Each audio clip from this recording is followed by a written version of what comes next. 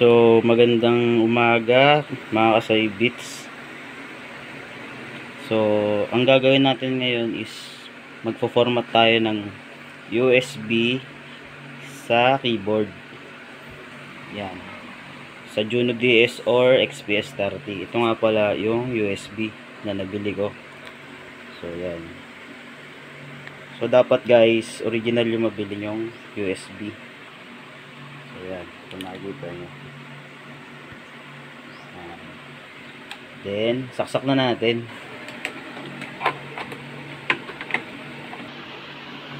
Then, next, press mo yung menu.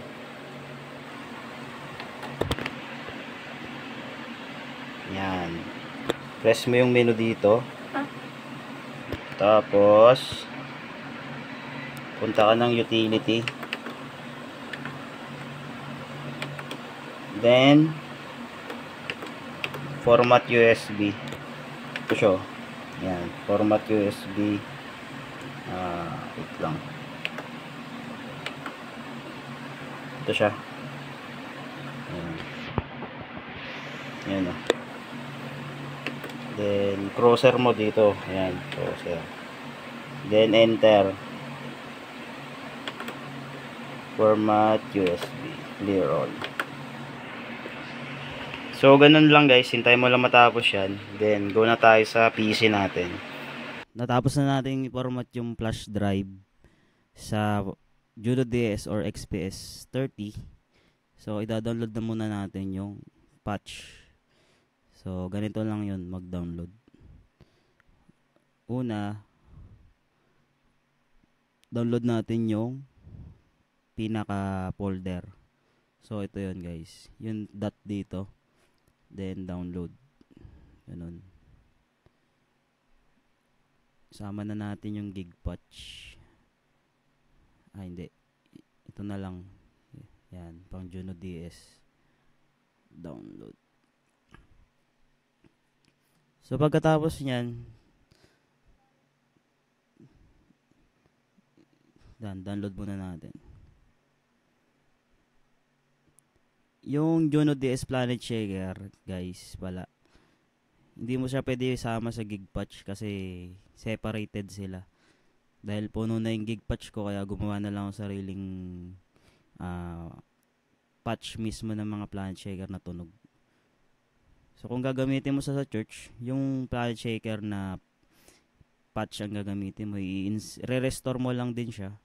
Then, kung mga gig naman yung gusto mong gamitin, de, i-restore mo lang din. Ganun lang naman. So, natapos na natin i-download.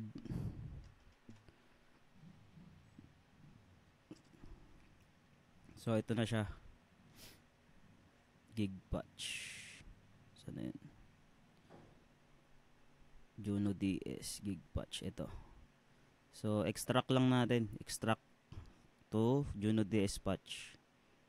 So yan, magkakaroon siya ng sarili niyang uh, folder. Then yung isa naman ganun din. Extract to Juno DS shakers. So dalawa na yung nandito kaya yes ko na lang. Then ito na siya guys Juno DS gig patch. Yan.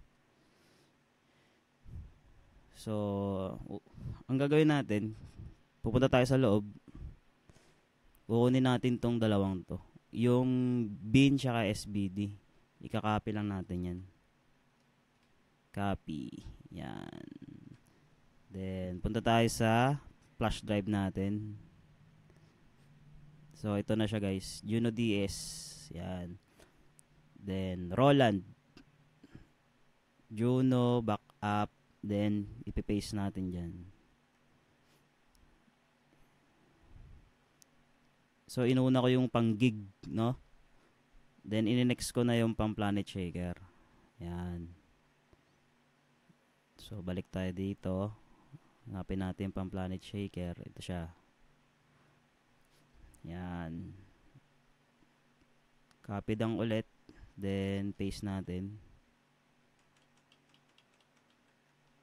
Oh, wait. Dito pala. Paste ulit natin dito sa loob ng Roland Juno backup. So, yan. Ganun lang siya kadali, guys. Then, i-restore na natin siya sa keyboard natin. So, so naisaksa ko na pala guys yung flash drive dito. Then, ang next natin, yan. Pupunta tayo sa menu. Ito, menu. Then, baba lang natin, close up, up, down.